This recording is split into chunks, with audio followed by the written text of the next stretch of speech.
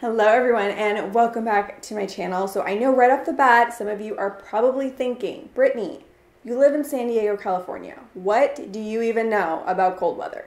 Well, I did live on the East Coast for about eight years, but most importantly, one thing you should know about me is that I am the biggest cold weather wimp you have ever met in your entire life. Like, I can't function in cold weather. So, I've come up with some various adaptations over the years just to survive. I'm going to be sharing some DIY ideas, and at the end, I'm also going to show you some interesting cold weather clothing items that I found on Amazon. Also, if you're interested in winning a new iPhone X, I'm giving that away in two weeks. And to be entered, you have to be subscribed to my channel with the notifications turned on and also share this video. There's a share button linked down below. I will have all the other details in the description box. So with all that said, let's jump into it. The best way to hang your sweaters to avoid warped shoulders or loose fabric in the shoulder areas is using this method. So you want to fold your sweater in half lengthwise. Then take a hanger and put the hook of the hanger at the armpit of the sweater, then fold over one side and then fold over the sleeves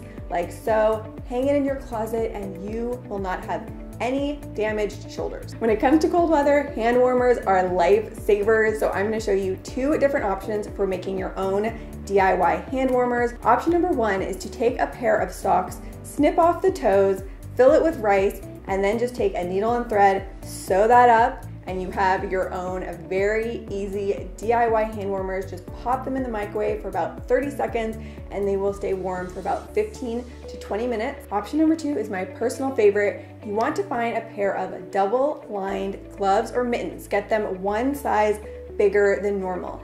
Then take the inner lining and snip a little hole about one or two inches fill that with a little bit of rice, just enough rice so that you can still wear them comfortably and they're not gonna be too big and bulky. Then you can sew shut or use Velcro to close the hole that you made. And just that easy, you have your own pair of heated gloves. You can pop them in the microwave, wear them, and they will keep your hands nice and toasty. This next idea is both fashionable and functional. You can make your own DIY leg warmers or boot socks by taking an old sweater that you no longer wear, cut off the sleeves. You'll want to either hem the bottom or if you don't have time for that, you can just use one of the iron-on hems to secure the edge and then put them on your calves under your boots. They're gonna add an extra layer of warmth and they also look really cute. To deal with crazy static flyaway hair, you can use a dryer sheet. All you have to do is just rub it on the top of your head and it will tame any of those crazy flyaways. Everyone has that one sweater that's so cute, but you can't wear it because it's just too uncomfortable and itchy. Well, there's something very easy you can do to make it softer and more comfortable. So what you wanna do for this is turn the sweater inside out and soak it in some cold water with a few tablespoons of white vinegar. Put that in there for about 15 minutes. Then while the sweater is still wet, you want to massage a very generous amount of a high quality hair conditioner into the sweater. Then let this sit on the sweater for about 30 minutes and thoroughly rinse the sweater with cold water. Then lay it out flat to air dry and your sweater will be so much softer. If you're outside in the rain or snow and your shoes are a little bit damp when you get inside, something you can do is use silica gel packets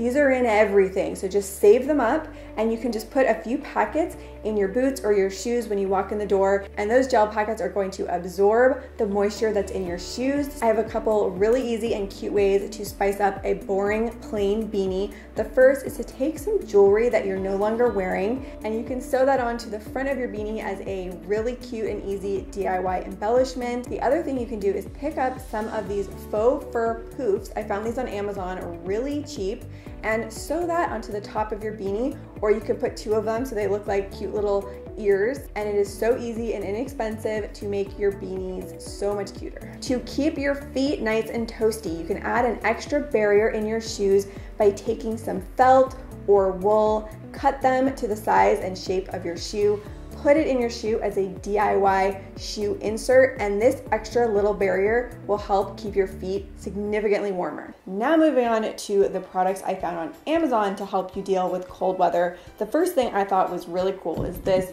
rechargeable hand warmer. So you plug this in to a USB cord to charge it and it stays warm for up to four hours. So when you go out in the cold weather, you can clutch onto this thing and it will keep your hands nice and toasty. The next thing I had to get just for the name alone, and it had good reviews, it's called Hot Feet. These are special socks with a thermal lining inside. It actually feels kind of like a mixture between fleece and faux fur. These are supposed to help keep your feet extra warm. Next thing, if you don't already know about this, you need these in your life.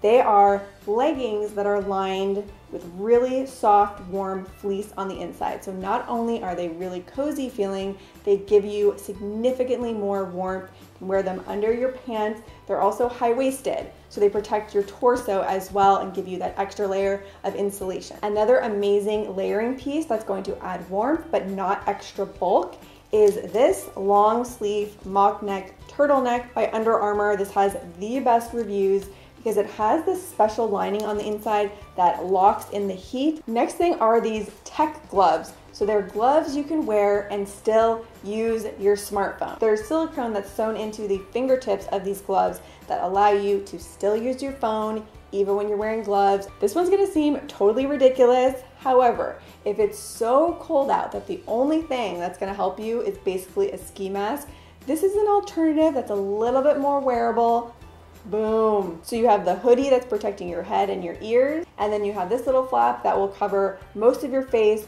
So pretty much just your eyes are showing, almost like you're wearing a hoodie. They have this in a bunch of different colors, and I personally would wear this. If it was cold enough, I would wear this. What do you guys think? Clever or just too much? All right guys, so that's gonna be it for this week's video. If you enjoyed it, please take two seconds and give it a thumbs up. It would really help me out.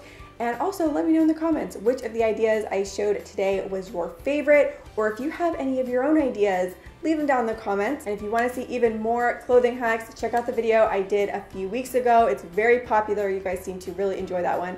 I will leave it linked down below and in the end screen of this video. So with all that said, thank you guys so much for watching and I will see you soon with a new video. Bye. Whoa, whoa, whoa, hey honey, where are you going? Out? Wearing that? It's like 68 degrees outside. Yeah, you know, you're right. Much better.